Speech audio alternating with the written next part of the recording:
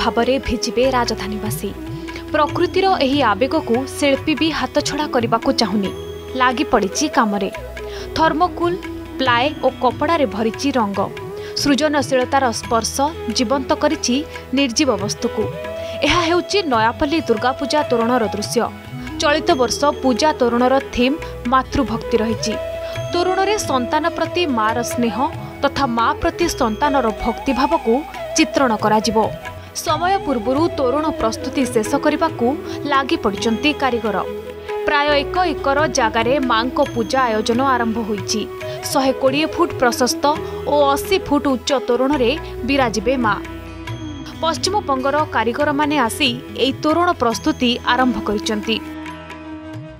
ତୋରଣଟା ଆମର ହେଇଛି ସେଇଟା ଆଲୋକର ସଭ୍ୟତାର ମାର ଋଣ।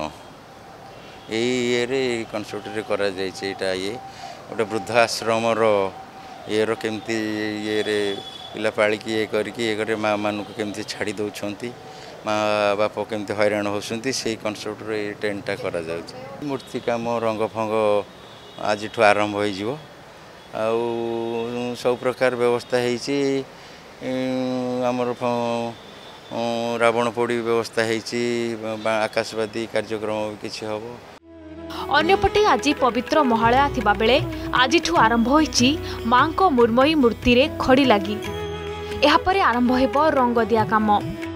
ଆପଣମାନେ ଜାଣିଛନ୍ତି ଓଲ୍ଡ ଏଜ୍ ରଖିଲା ପରେ କେମିତି ମାଆକୁ ଟ୍ରିଟମେଣ୍ଟ କରୁଛନ୍ତି ତାରି ଥିମ୍ ଉପରେ ନୂଆ କାରିଗର କରୁଛନ୍ତି ସବୁ ତ କାଲକାଟା କାଲକାଟାର ସବୁ କାରିଗର ଆସିଛନ୍ତି ପ୍ରାୟ ପାଖାପାଖି ଚାଳିଶରୁ ପଚାଶ କାରିଗର ଅଛନ୍ତି।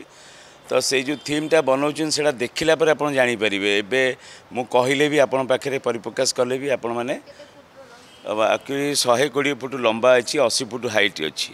ଦର୍ଶକଙ୍କୁ ଆମେ ନୂଆ ଭେଟି ଦେବୁ ଯେଉଁଟାକି ଦୁଇ ବର୍ଷ କରୋନା ଗାଇଡ଼ଲାଇନ୍ସ ଯାହା ହେଇଥିଲା ଆପଣମାନେ ଜାଣିଛନ୍ତି ଦୁଇ ହଜାର ଉଣେଇଶ କୋଡ଼ିଏ ଏକୋଇଶ ଯେଉଁ ଅବସ୍ଥା ଆମକୁ କରେଇଛି ମା ନ କରନ୍ତୁ ଆମେ ମାଆଙ୍କର ଆଶୀର୍ବାଦ ନେଇକି ପୂଜା କରୁଛୁ ଏ ଅଞ୍ଚଳବାସୀ ଓଡ଼ିଶାବାସୀ ଲୋକଙ୍କୁ ମୁଁ ସନ୍ଦେହ କରିବି ଯେ ସମସ୍ତେ ଆସି ପୂଜାକୁ ଦେଖନ୍ତୁ ଉପଭୋଗ କରନ୍ତୁ ଆମମାନଙ୍କର ଯେଉଁ ପୂଜାରେ ଯେଉଁ ଆମର ଯେଉଁ ପ୍ରେରଣା ନିଜର ଅଛି ଯେଉଁଟା ବି କହୁଛୁ ଆପଣଙ୍କ ଆଗରେ ସେଇଟା ସତ୍ୟ ହେବ ବୋଲି ମୁଁ ଆଶା ଆଉ ବିଶ୍ୱାସ ଅଛି।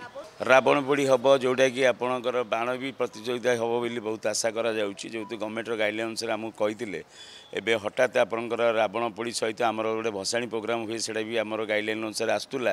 କିନ୍ତୁ ଅନସଡନଲି ଗଭର୍ଣ୍ଣମେଣ୍ଟ ତାକୁ ଡିସିସନ୍ କଲା ଯେ ମାନେ ଡିଜେ ଫିଜେ ଲାଇଟ୍ ଟିକେ କମେଇକି କରନ୍ତୁ ବୋଲି। ଠିକ୍ ଅଛି ତାଙ୍କର ଆମେ ମାନିବୁ ତାଙ୍କ ପ୍ରଶାସନିକ କଥା ମାନିବୁ।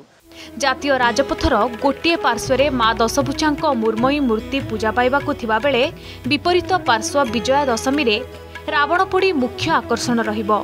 ଅଶୀରୁ ପଞ୍ଚାଅଶୀ ଫୁଟ ଉଚ୍ଚତା ବିଶିଷ୍ଟ ରାବଣ ପ୍ରତିକୃତିକୁ ଆତସବାଜି ସହ ଜଳାଯିବ। ପୂର୍ବ ବର୍ଷଗୁଡ଼ିକ ଭଳି ରାମଲୀଳା ଓ ଅନ୍ୟାନ୍ୟ ସାଂସ୍କୃତିକ କାର୍ଯ୍ୟକ୍ରମର ଆୟୋଜନ କରାଯିବ। ଭୁବନେଶ୍ୱରରୁ କ୍ୟାମେରା ପର୍ସନ ଟୁନା ମଣ୍ଡଳଙ୍କ ସହ କବିତା ସ୍ୱାଇଁଙ୍କ ରିପୋର୍ଟ ଅର୍ଗସ୍ ନ୍ୟୁଜ୍